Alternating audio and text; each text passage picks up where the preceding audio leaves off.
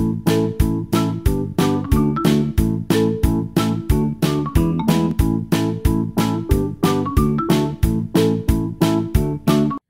to our virtual story time.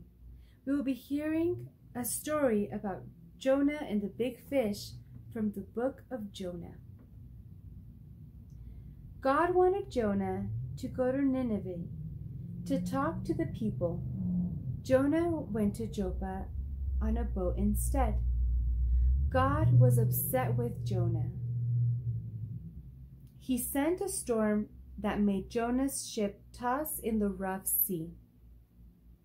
The men on board found out that Jonah was the one to blame for the storm because he disobeyed God.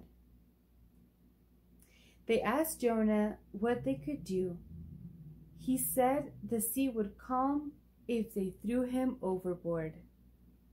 So they tossed him into the sea. As soon as Jonah hit the water, the storm calmed. Then a gigantic fish swallowed Jonah. While inside the belly, Jonah prayed to God. God made the fish open its great mouth and coughed Jonah up onto safe, dry land.